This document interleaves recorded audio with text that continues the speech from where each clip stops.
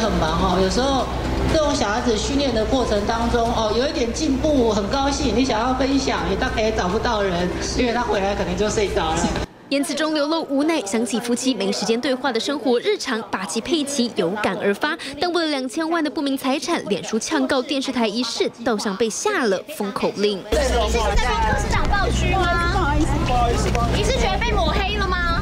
工人员团团护驾，面对连串问题坚持微笑到底，一改有问必答的个性。陈佩琪转低调，就怕再给老公添麻烦。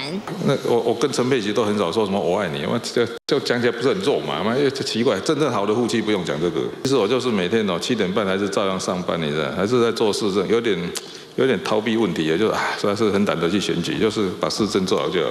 眼前有蓝绿夹杀，全世界好像只剩佩奇不会害己。根据最新民调显示，国民党丁守中二十九点一的支持度，小赢柯文哲零点一。他也是势均力敌、自信丞相起风的民进党姚文智，支持度十三点五，远远落后。